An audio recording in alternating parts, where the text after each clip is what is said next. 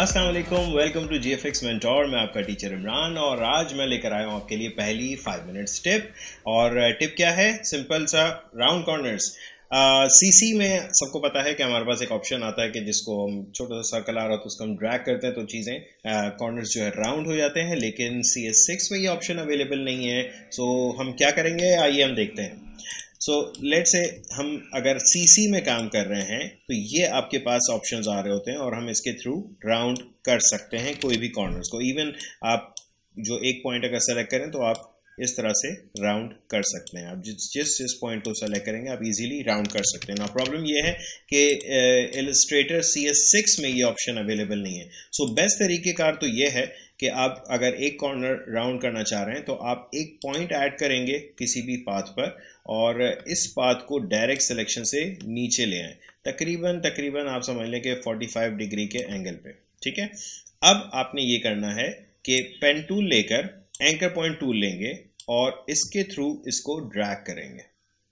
यूँ एंड यूँ ये हो गया आपका एक कॉर्नर राउंड ठीक है? अब आप आपको मुझे पता है मेहनत ज़्यादा करनी पड़ेगी ये एक एक पॉइंट को पकड़ के करना पड़ेगा।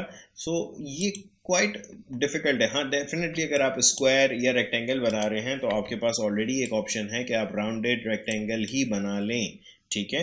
लेकिन अगर कोई और शेप है तो उसके लिए आपको डेफिनेटली ये तरीक़ेकार यूज़ करना पड़ेगा। एक उससे ज़्यादा आसान तरीक़ेकार मैं आपको बताऊँ। लेट से आपके पास ये एक पॉलीगॉन है और इस पॉलीगॉन में आपको कॉर्नर्स राउंड करने हैं। अब देखें, अगर तो मैं पॉइंट्स ऐड करके करता हूँ तो बहुत ज़्यादा डिफ़िकल्ट मसला हो जाएगा। सी दिस मैंने यहाँ एक पॉइंट ऐड किया, यहाँ एक पॉइंट ऐड किया और इस पॉइंट को मैंने हटा दिया, ठीक है? अब आपने एंकर पॉइंट टूल लिया और इसके थ्रू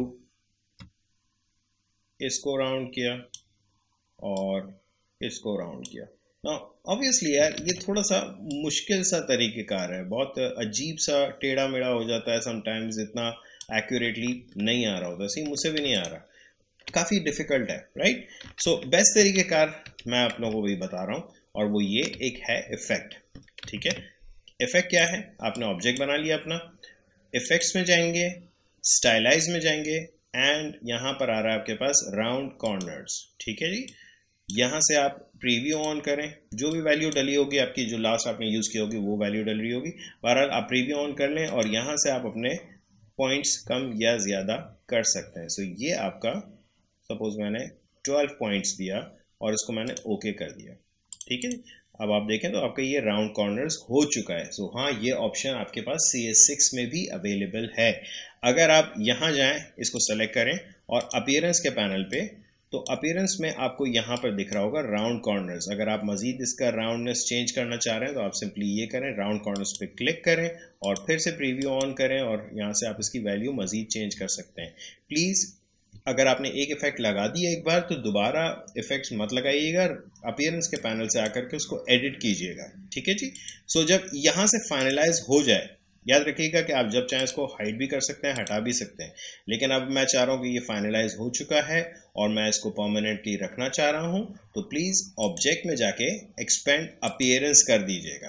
दैट्स इट आपका राउंडेड कॉर्नर्स वाला ऑब्जेक्ट रेडी है। सो so, अब ज़रूरी नहीं है कि आप एक पॉलीगॉन को करो आप किसी भी तरह के शेप को चाहे जितना कॉम्प्लेक्स शेप हो आप इजीली राउंड कॉर्नर्स कर सकते हैं। सो लेट से ये एक शेप है मैंने इसको सेलेक्ट किया इफेक्ट्स में गया stylize round corners and preview on करें।